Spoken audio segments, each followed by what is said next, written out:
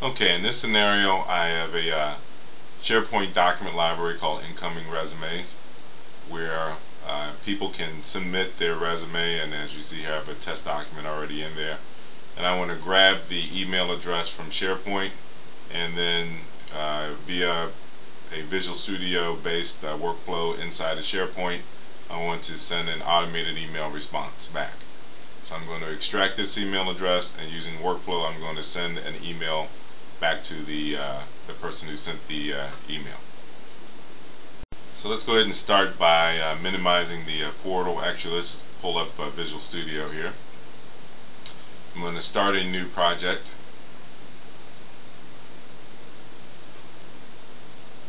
And I'm going to choose a SharePoint project from the Office 2007 direct uh, list of project types. This is Visual Studio 2008, but you could also use Visual Studio 2005. I'm going to call this uh, project extract email and send response.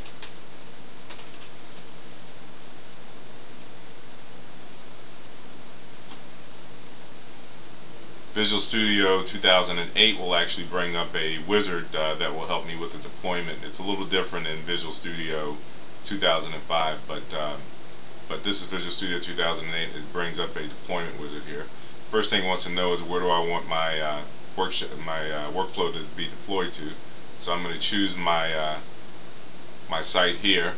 So I'm going to take the URL uh, of uh, of my um, team site, which is that, and I'm going to pop that into the wizard. Hit the next button.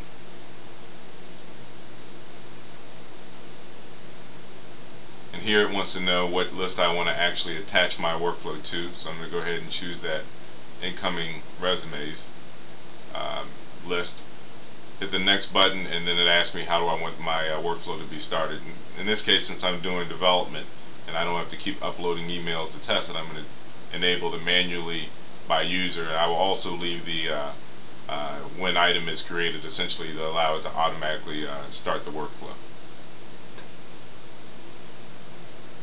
Okay, so now we have our Visual Studio project and you can see here on the left side there are some properties that um, have been filled in by that, that wizard that we just filled out. Uh, so the first thing I'm going to do in my workflow is I'm just going to rough out what the workflow is going to do and then I'll add the code afterwards. Um, the first thing I want to do is I want to log my workflow as started so in case I have any uh, errors or anything like that at least I know at what point the uh, workflow left off. So I'm going to go ahead and put in, uh, drop the log uh, activity there. The history description is going to be workflow started. Let's go ahead and give it a, a name here, logging workflow started. The next thing I want to do is um, I'm going to go ahead and use a code activity to uh, extract the uh, email address or get the email address. So I'm going to call this uh, code activity get email address. Then after that I'm going to go ahead and uh, use another code activity to create the email message. Let's call this one create email message. And then the uh, next uh, activity I'm going to use is the send email activity from the SharePoint workflow. And as you can see, it's got a lot of values that I can uh, set here about the email, the BCC, the body of the email, the CC, etc. Um, some additional ones down here, the to and the subject as well. So I'm going to call this one send automated email. And then the last one I'm going to do is another log to let me know that the workflow is completed. So let's go ahead and pop that one in there. We'll call that one log workflow completed. And then I will put down the description is workflow as completed. Okay, so that's our roughed out workflow. Okay, so let's go ahead and add the uh, code for getting the email address. Double click there. I'm going to add a uh, class level variable to hold my email address. I'll need that later.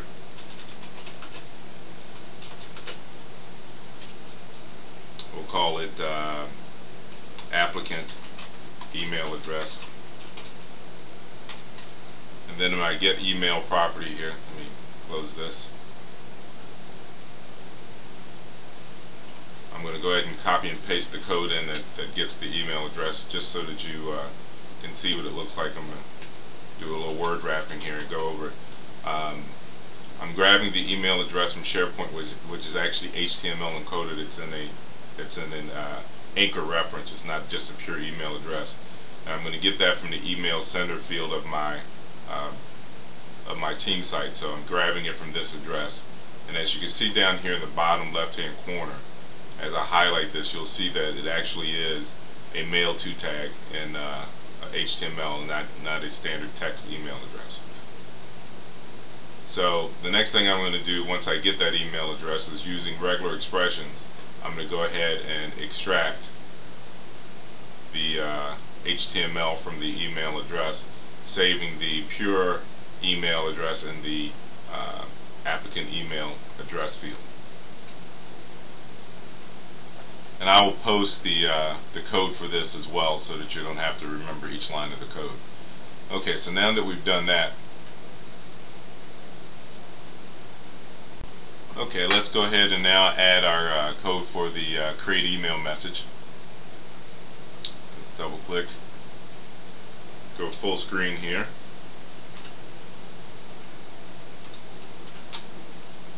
And I'm going to paste in the uh, code for this activity but as you can see, it's pretty simple.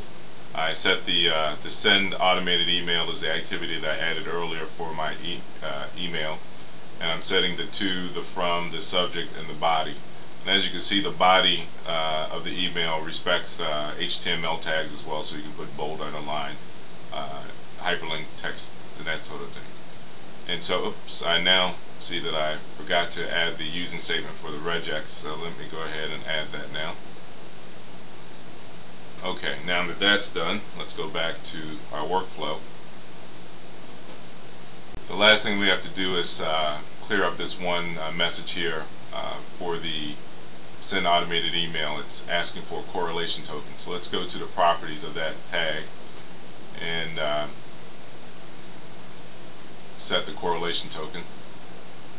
So I'm going to set the correlation token for this to the workflow token the workflow token was set originally when the workflow was started. Visual Studio gave me a workflow token. And I won't get into what tokens mean in this particular talk, but uh, uh, it is a uh, requirement for uh, activities that actually send and receive information to have workflow tokens. Okay, so now let's go ahead and deploy this.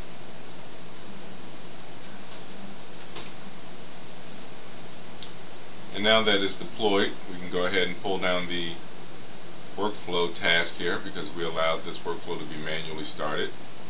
We'll be sending an email to that user. Here's our workflow. I'm going to go ahead and start it. There the workflow is starting. Okay, now that that's completed, let's go and check the, uh, the log here. So I click on the completed button and you see our two workflow log entries are right there, which is great. I check the uh, outlook of the user who submitted the email. Hit send receive. And there you see we have an email with our automated email response with a message here as well. Alright, so let's go ahead and deploy this. And now that it's deployed, we can go ahead and uh, pull down the menu hit the workflow tab since we allow for manual workflow starting. Launch our workflow. Now that our workflow is completed, you see we have an email down here. If I click on the completed tab, you will see that our logging worked exactly the way we expected. If I open Outlook, you will see come back to this blog URL and you will find more videos that, this like this, screencast, well as sample code, and other resources. Thank you.